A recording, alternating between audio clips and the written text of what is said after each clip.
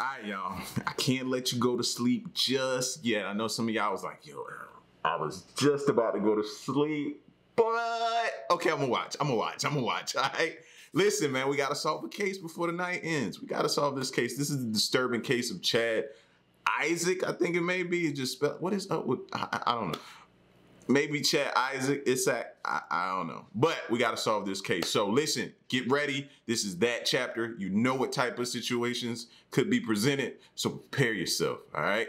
Don't be making too much noise waking everybody else in the house up. I, I see the comments. I see the comments, man. Listen, so if you're new to this channel, hit the subscribe button. Join the fam real quick. Moment of silence for the haters. That's enough. Now run the likes up. Make sure y'all hit that like button. It's time. Hey you, and welcome. My name is Mike, and in this whole video we're talking about... We're talking about a chat. Maybe even the chat. And that, my friends, is Chad Trollen Isaak. What a name. What a guy. Chad is the man from Mandan, and he was a chiropractor in North Dakota, we're back there again, so happy days. And when all the pieces of the puzzle point at Chad, well, you gotta ask who put it together. Because it doesn't take a genius to figure out where it leads, but why is still for grabs. Alright, so here, what do you say we give it a go, you and I, come on.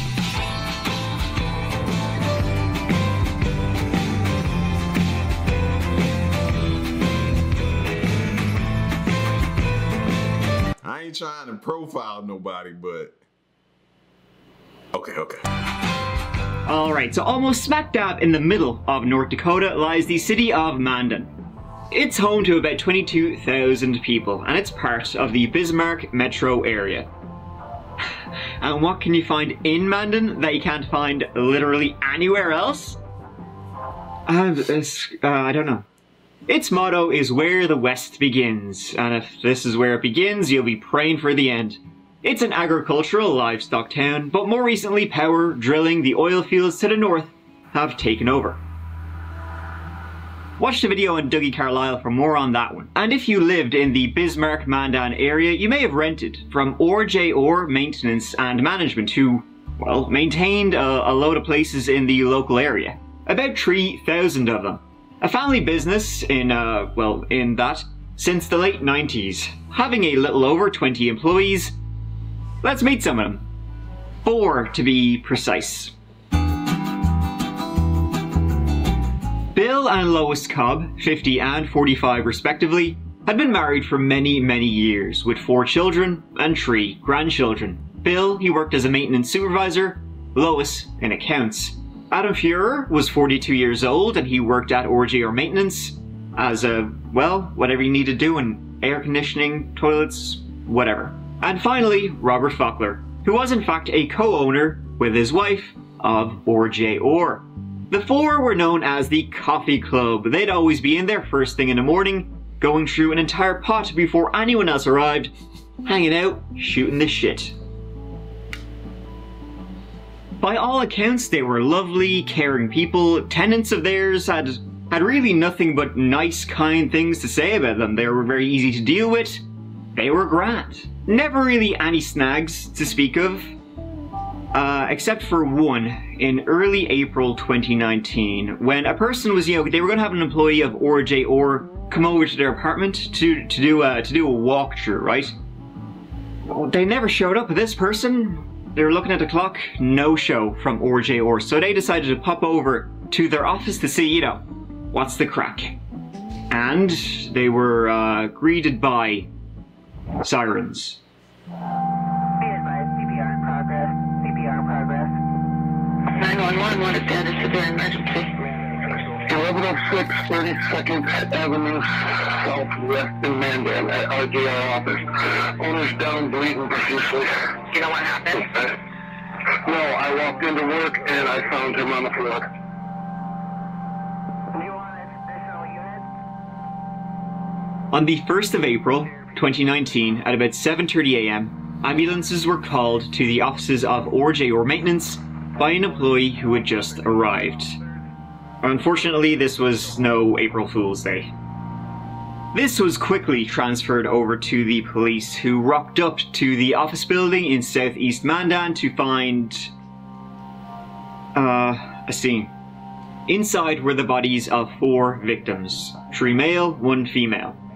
They were, you guessed it, Robert Fakler, Adam Fuehrer, and Bill and Lois Cobb. All four had been stabbed and shot to death.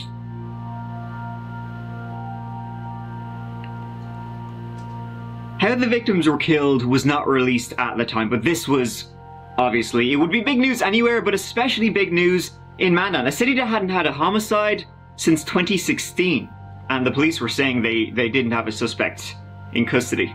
Police are releasing few details at this point, and we still still don't know how many bodies have been found or the cause of death. However, when officers arrived, they did find more than one body. The Bureau of Criminal Investigation and Morton County Sheriff's Office are still investigating right now, and I recently spoke to a few bystanders who were at the scene. I had a walkthrough scheduled of move out and they never showed and I came here to see what was going on and I stayed. They've been great people to lease from, always very courteous and kind and caring. And so I just want to know that they're all right. They're good people. Story today, Mandan police investigating after finding several bodies at a property management building in Mandan this morning. And there was a press conference that started about 30 seconds ago. Let's listen in.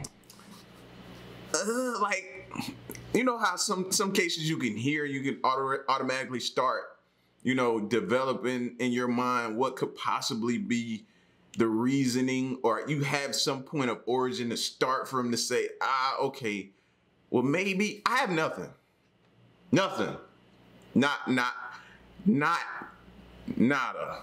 I have right now to to tell you, huh? Yeah, big scratch to the back of the head. Big scratch, big confusion. So as soon as this investigation, like I said, this investigation is, is underway. Uh, A lot of the information you're going to ask me, I cannot answer. It's, it's very important that our investigators have the ability to follow up and look into leads and everything else before any of those questions can be answered. Look at there. Even a cop seems like ah, he has nothing. And so, with this hurricane, they spread out from there trying to find out who did this. And one of the first things they did was go around to local businesses, shops, that sort of thing, and ask them, hey, if you have any video surveillance, CCTV maybe, here, lash it over to us there, would you mind? And they would. This would then eventually lead to a man named Chad Isaak. 44 years old, who on April 4th, 2019, three days after the murders at about 3.46 pm, well, Chad was arrested and charged with four counts of murder, burglary, concealment of a vehicle and unauthorized use of a vehicle. He was arrested at a traffic stop, and a search warrant of his vehicle led to more evidence being discovered. More evidence that did not look good for Chad.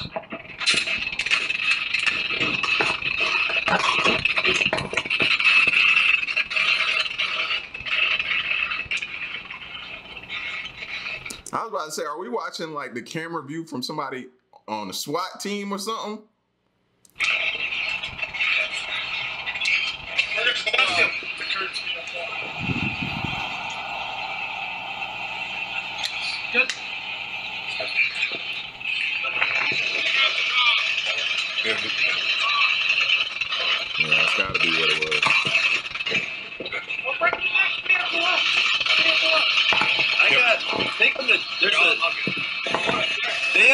Dale and Julie live across the street from me. He knows them.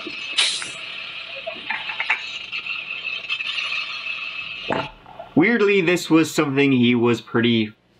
He's pretty happy about. Look at him, he's chill. Oh, this fool is smiling. Who smiles in their mugshot? All right. Definitely he's off here. But now I'm still thinking like, okay, it wasn't like these these people were young. One of the couples I, I vividly remember were 45, 50 years old. Okay. So what type of itch situation with these people that would cause you to do them all in at once? So okay, I'm stepping back, I'm thinking, okay, maybe money. Money's always at the root of something somewhere. Or I, I wouldn't say it's someone's like uh, uh, an affair or anything because then you deal with you're dealing with that couple. But why the other ones had to go? So did you work there at some point and something happened? Um, was it money? yeah, I just can't shake money right now. So that's where I'm at. Trying to still trying to figure it out like y'all. The one thing that really stands out uh, is during his arrest, right? He never once asked why he was being arrested. But why is something we are certainly asking Chad. Something we are still asking to this day. Chad Isaak was living in Washburn at the time. That's a, that's a small town about 40 minutes north of Mandan City. And what he did, uh, let me tell you, well, okay, no, I'm just referring to his occupation for now. And what he did for a living was crack the back. Dr. Chad, at your service. I hope he didn't look at patients with those Manson lamps. He was a licensed chiropractor, a license he was issued in 2009, and until 2019, so for a decade, he had a clean record, no complaints. He operated, if that's what you'd say, uh, out of his office on Main Street, Washburn, his signage being oddly prophetic. Chad was a native of Riverdale, not the Netflix show uh, North Dakota, and he graduated high school in 1992. From there, he joined the US Navy. He'd remained there for five years, being sent off to Hawaii. Remember Pearl Harbor, because that's where he was based. And he would end up marrying, in 1995, a local uh, Hawaiian woman. They would have a daughter together, followed by a divorce together in 2000, leading to a number of court encounters over child support payments. It was in the year 2006, after moving around a bit, Nevada, Iowa, North Dakota, and studying nursing for a time, and that's when he realized his gosh darn, excuse my French, dream of becoming a give me your back, I'm gonna crack. See, Chad had been a football fanatic in high school, but an injury, fractured vertebrae, cut short his dreams of a scholarship. He saw a number of different medical professionals to treat his back. Twas fucked, and they were all uh, unhelpful. You know, all that until he went and saw a chiropractor and saw the light. Now you think like details about. Now y'all think he was doing something crooked and they were threatening to tell. You know how some of these doctors, man, you go there and like you know when the doctor, some of the you used to hear the stories back in the day about these ones that they would put you under anesthesia and these women were filing cases because while they were under under anesthesia, things were happening to them.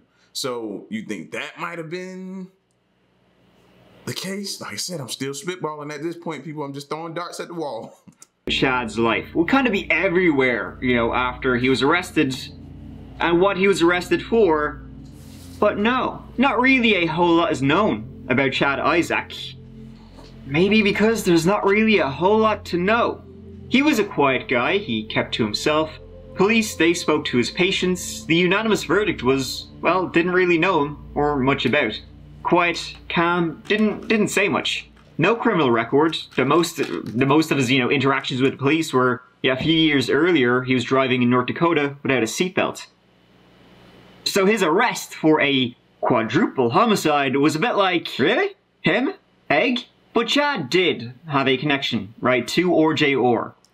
Uh, that being, he lived in a trailer park that was maintained by them. So how did the police arrive here, right, on Dr. Chad's doorstep? Well, what led the police to Chad was, uh, quite simply, his Ford F-150. See, the morning of the 1st of April, the police, doing their due diligence and checking nearby CCTV footage, on the surveillance footage, they saw a man entering the Orr building at about 6.47 am. Less than 20 minutes later, he was out. And they had a suspect profile, orange mask, orange jacket, dark pants, shoes, gloves. At 7.08am, the man was seen leaving in an Orr vehicle. Surveillance from a few buildings along the way showed the car speeding off before being ditched, and then CCTV showed the fellow walk to a parked Ford F-150 in a McDonald's car park.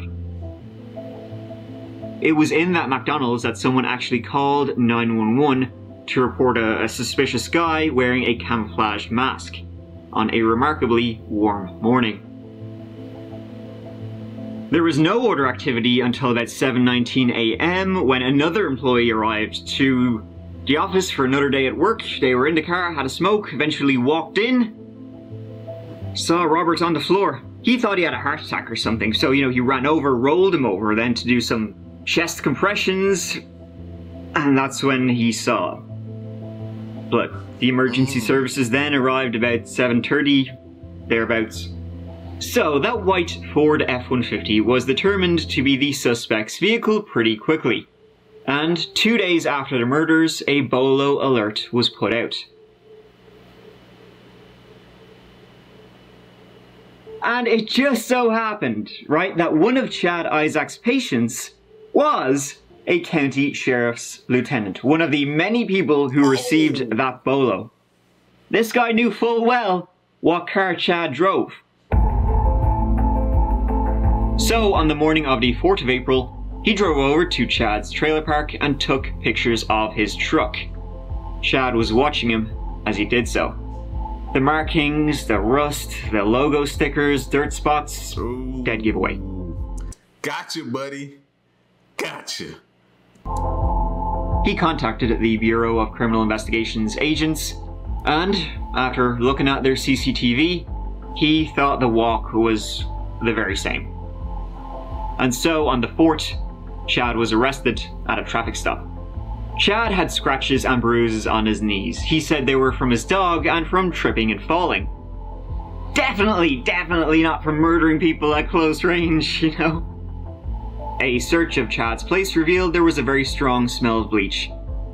They found the very same clothing seen in CCTV, a reversible mask, and weapons. A knife found in the washing machine with a bent tip, and a gun believed to have been used in the murders. Shell casings were also found that matched the number of rounds fired at RJR. Shoes, similar to those seen in the CCTV footage, were found.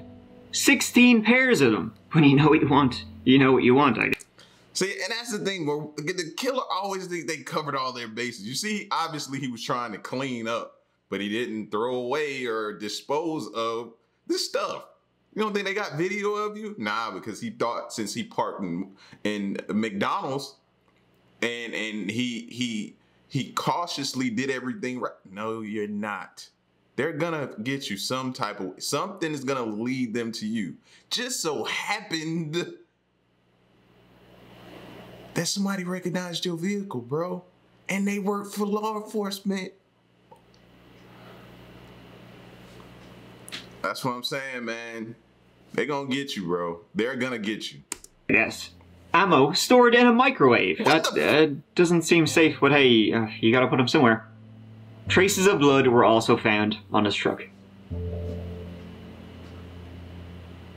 A man has been arrested in connection to the four murders in Mandan, North Dakota this week. The suspect, 44 year old Chad Isaak, was pulled over about 40 miles north of Mandan. He's being held on four counts of felony murder. Police say the victim suffered either stab wounds and or gunshot wounds. Not guilty. That's the plea from accused murderer Chad Isaak. Now, a motive. Like, uh, this is obviously a horrendous, brutal, gruesome crime to do to four people. Why would somebody do that? Good question. To date, hasn't been answered. Now, obviously, he was targeting his landlords, right? So, you know, rumors abounded, and you gotta think, you know, they were gonna raise the rent on him. They were gonna kick him out. They were gonna kick his dog out. These, everybody was talking about this at the time. Police followed up on all of these, uh, you know, theories about why he could have done this, and all of them proved untrue. By all accounts, and by, you know, speaking to employees at RJR, Chad had minimal interactions with them, and when he did have interactions with them, they were grand. Hmm. After multiple delays, the trial began in August 2021, 854 days after four people were brutally slain. April 1st, 2019, is a day that many people will never forget. It's the day that Justin Bachheim walked into work at RJR Maintenance and Management Company and found his boss, Robert Fakler, lying on the shop floor, covered in a pool of blood. It's the day that paramedics arrived at what they believed was a cardiac arrest call, only to find their victim covered in stab wounds. And it's the day that Mandan police officers arrived at that same crime scene, conducted a protective sweep of the premises, and found not one, not even two, but three additional victims. Now, let me tell y'all what's crazy about what she just said, right? It was one part in there that was crazy, right? Because y'all know I used to be an EMT.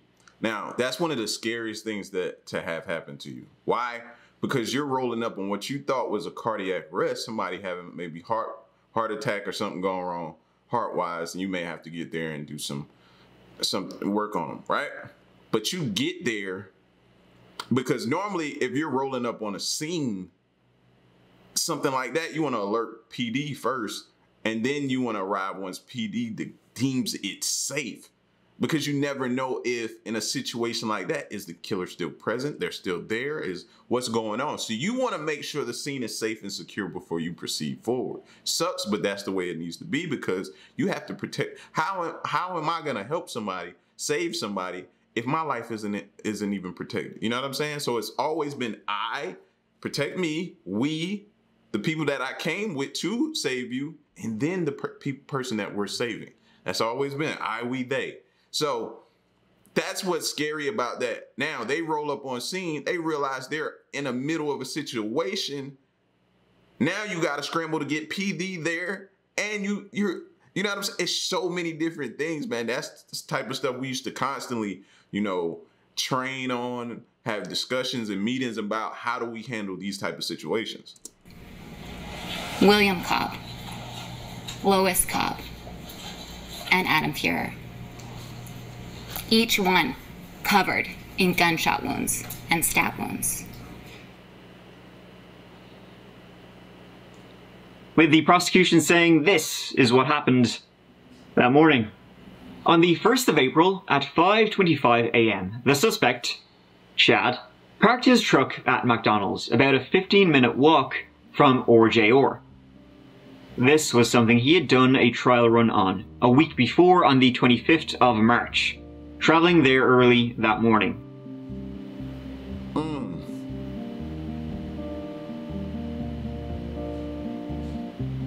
This was the planning and preparation, you know, the prosecution were going to show that he he full, fully knew what he was doing.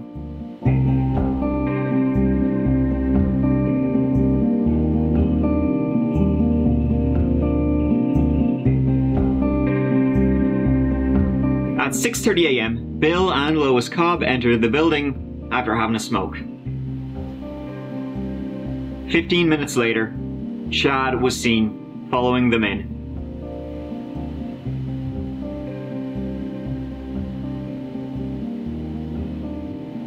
At 7 a.m., Adam Fuehrer entered the building. At 7.06, Robert Fakler entered.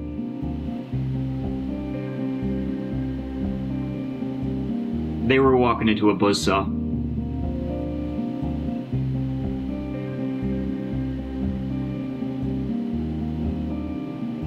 The suspect then left, stole Robert's truck, and then ditched it three minutes later, going back to his own. The victims were all in uh, different parts of the building. He followed the Cobbs in and then was waiting for whoever else would walk in.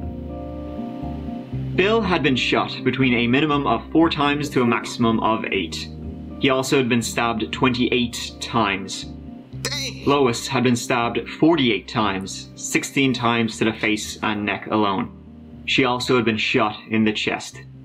Adam, he was shot three times, twice in the back, once in the front. He was also stabbed 11 times.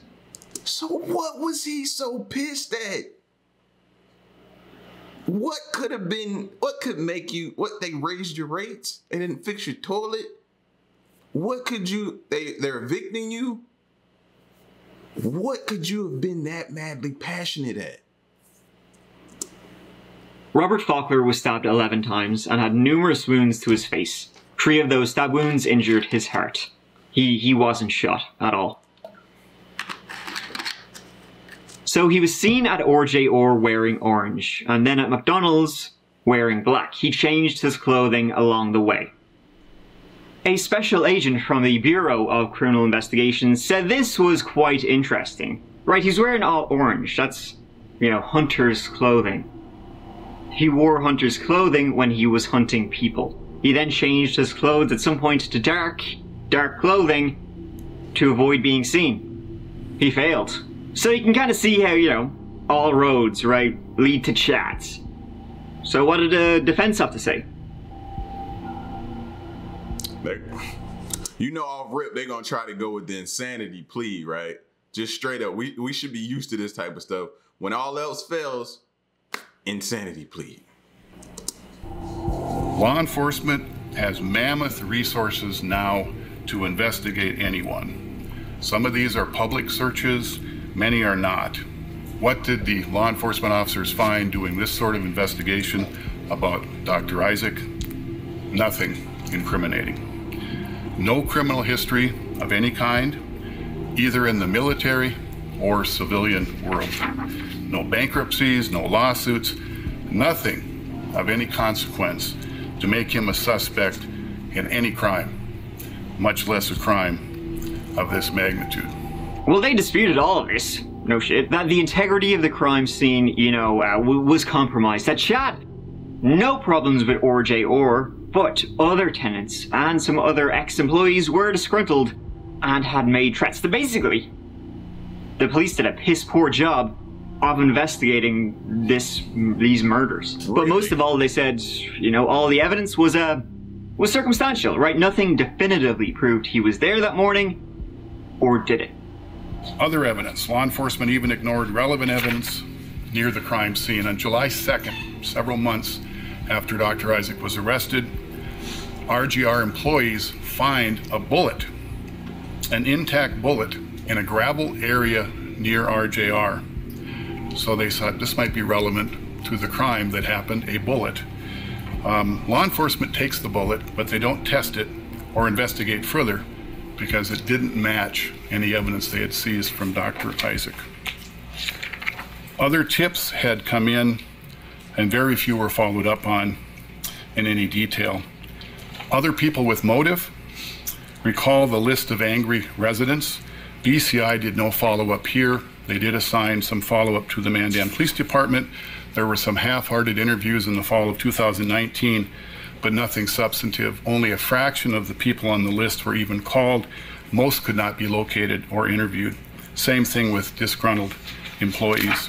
Law enforcement believed that they solved this case in four days, and they spent many months trying to prove that they were right. They weren't. They simply confirmed what they believed, and they ignored the rest. At the conclusion of this trial, I'm going to appear before you again and ask that you find Dr. Isaak not guilty of all charges. Thank you. By all accounts, he had good relations with the management company. Really? And although Chad had cancelled appointments the morning of the shootings, people who saw him in the afternoon of April 1st, they said he was fine, no different than usual, didn't see anything odd about his mental state. Now, one thing I will say, if they was going to at least try something, they should have been like, look at this dude on the film. Cause he does look like a skinny dude. The dude on the film looks like big, like like he was bigger. You know what I mean? So I'd have tried that. You, you might would have tried that. Look at that person. They're two disproportionate sized people. Other than that, uh, uh what what else you got, bro? or his physical state. Though when Chad cancelled chiropractic appointments on the morning of the 1st of April. He told his patients, you know, he couldn't see them. He had a dental appointment. Checking in with the dentist he went to, his regular, he hadn't been there since May 2017. He hadn't been there in two years. Got him. And he certainly was not there the morning of the 1st of April. Throughout the testimony in this case, you have heard that investigators followed that evidence. That evidence figuratively and literally led us to Chad Trollen Isaak. His vehicle matches the suspect vehicle in all unique features. Considerable effort had been taken to wash and bleach the suspect clothing and to bleach weapons. They solved this crime in four days. Unfortunately, they didn't. They spent several months trying to prove that they were right. They weren't. And that was that.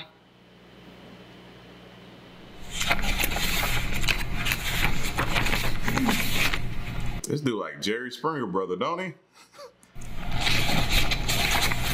I'll read the uh, jury's verdict at this time. We, the jury, duly impaneled and sworn to try the above entitled action, do find the defendant, Chad Trollen Isaak, number one, as to the offense of murder of Lois Cobb as charged in count one of the information, guilty.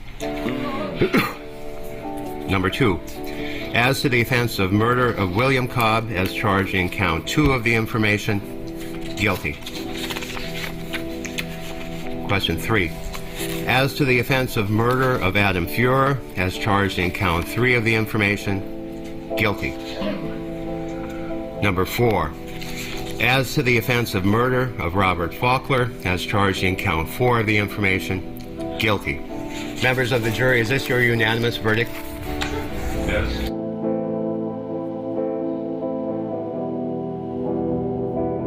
The grief we feel for the four lives we tragically lost on April 1st, 2019, isn't something that a, sorry, isn't something that a trial will fix. A trial two and a half years in the making has come to an end. Honestly, um, it, it didn't take care of anything. We don't know why. Um, it's changed us, and we'll never get that back. Chad Isaak being found. I don't even know how they still like. I would be coming to work like. Then once I open the door, I wouldn't even. First of all, I wouldn't even work there no more. Let's start there. But they got to be showing up to work nervous. Like this, how can you go on and work there every day? Like I'd be looking over my shoulder as I'm walking in the door. As soon as I close the door, I would back up, facing the door though, backing up, making sure nobody trying to walk in behind me. Like, I'd be scarred. How do you go on? and guilty now faces life in prison without parole. No word on when the sentencing will be, but it won't be good for him. And that's the end of that L1. Uh, what a strange case. As I said, no motive has ever been revealed, if there even was one at all. And not that they needed to prove there was one, but what a thing to do for seemingly no reason at all. He was a loner, but he had a, you know, a seemingly successful business. For him to just snap and brutally murder four people, four people he didn't really have any connection at all with. Why? We may never know, but that's not a, you know, a snap. That's a full-on rupture from reality. But that's the story of Chad Isaak and what he did. We don't know why, we don't know the full extent, we're just trying to, you know, piece together the pieces of the puzzle that were left behind. Hopefully, someday we will know, but not today. Listen, man. This one is for all the people that that are like diehard. This person doesn't have a criminal record. It couldn't have been them. This person. See what? See how somebody just proved you wrong. All of a sudden, one day somebody could just snap. You know what I mean? So, yeah, man, y'all be careful, safe going in and out of workplaces. Pay, careful who you come in contact with. What we're seeing with all these cases that we check out, man, it could be any type of scenario. You know what I mean? Any type. Something you think is harmless, somebody may take, and they're willing to go to, they're willing to throw their whole life away for it. Y'all be safe out there, man. You know what I'm saying? Be safe. Let me know what you thought of this video and uh, stick around and stay tuned, man. Until next reaction, I'm gone. Peace.